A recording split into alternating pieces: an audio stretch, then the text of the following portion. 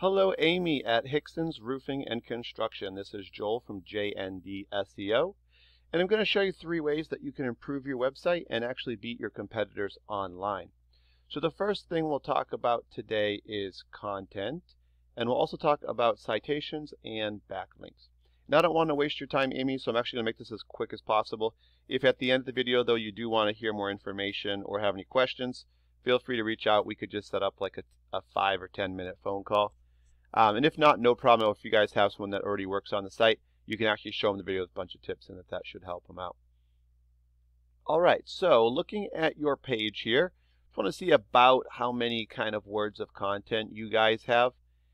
And, you know, it looks like you guys probably have maybe two to 300 words of content. Google actually recommends having about 1,500 to maybe 2,000. And to be honest, the reason they want so much is because it kind of helps them out. because the more content you do have on your page, the more that's going to help people out. It's going to have a lot of education there, useful things, and they know that. And so they would actually encourage you to do that. Therefore, they're going to raise your ranking so that more people can find you a little bit easier and bring those in. The other thing is if you had a blog, those do rank pretty high as well.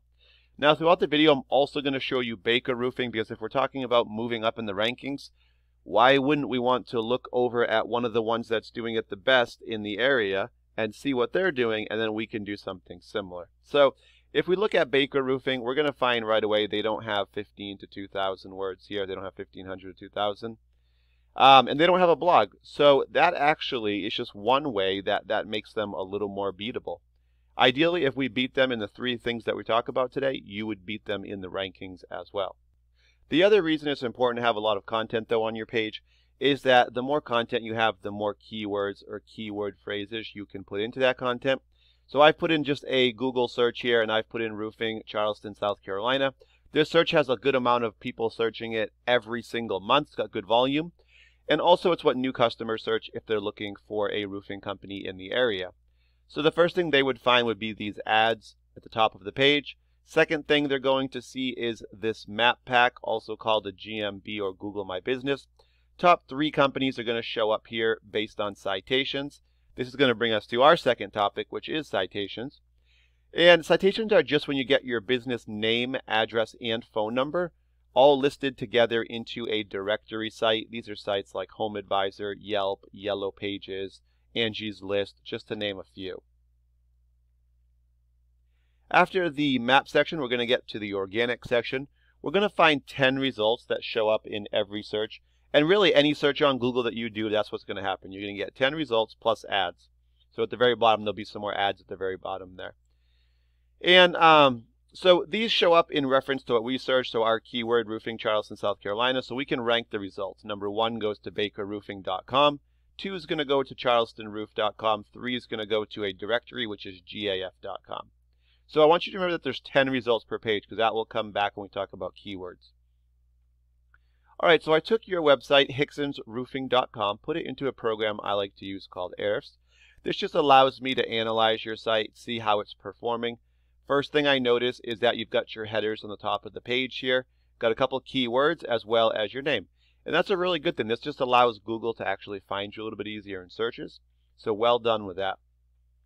All right, and then we'll talk about our third topic, which is backlinks and referring domains. So referring domains are just websites that you have the backlinks on. So these are sites that you have basically, it could be a picture, could be an, the actual link, could be a button. And when someone clicks those, those links, it's going to send them back to your site. So for instance, I like to use Facebook Business as an example. If you have a Facebook business page for Hixon's Roofing, your Hixon's Roofing Facebook business page would be your referring domain. Then the part where it has your web address and you can put in your link, that link would be your actual backlink. And when someone clicks that link, it's going to send you right to hixonsroofing.com. So that would be one backlink. You can have multiple links per site. As you can see, you have 278 on the 40 sites. And the more sites that point back to your site, those are like ref, uh, not well references or they're vouching for you. And Google's going to rank you higher for that. This this wheel here is actually your trust wheel, and the higher this number gets, the higher you're going to rank in in um, searches. And it's also going to allow you to be found for more keywords. So right now we can see you guys have a good amount of keywords that you can be found in searches for. and you've got 87. Now these are what really bring the visitors in. And right now we can see you're getting about 21 visitors you're averaging per month. So let's take a quick look at the keywords and just kind of see where your visitors are coming from. All right, so the first thing that we see is your business name, Hixon Roofing.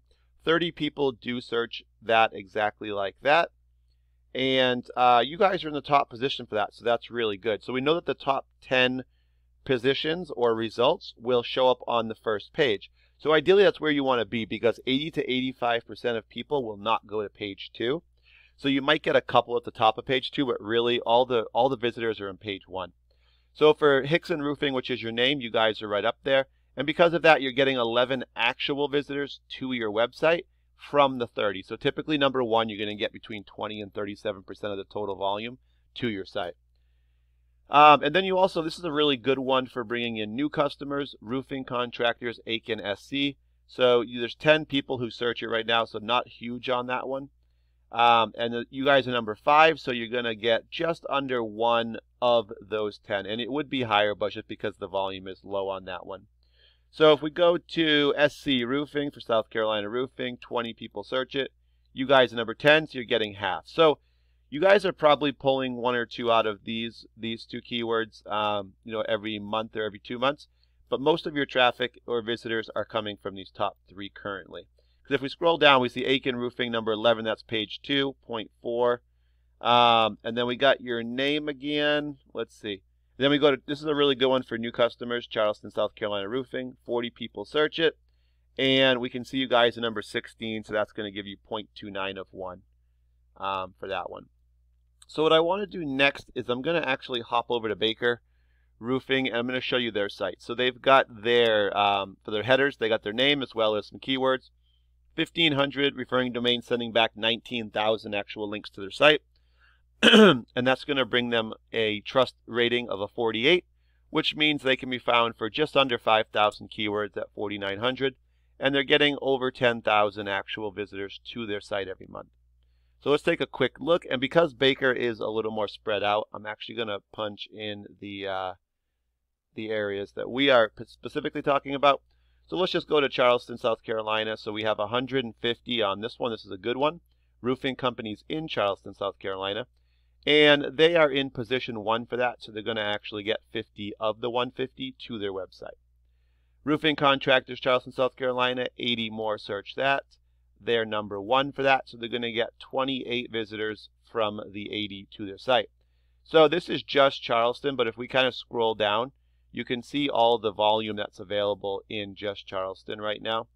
And these are all good keywords. So the, this is all the traffic that's available right now that they're getting anyway, and from being number one, but this is what's being searched total.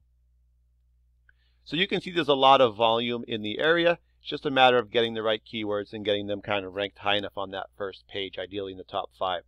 So bringing in, you know, three to five keywords, which will be the target in the first few months, you could expect about 100 visitors to your site. That those would that would turn out to be about probably 20 to 30 phone calls for you, and that that would actually, depending on what your ratios are, because everyone's are different, but you know, um, kind of going on the the standard for the industry, you know, there should be between at least two and four jobs, maybe on a conservative note, uh, per month.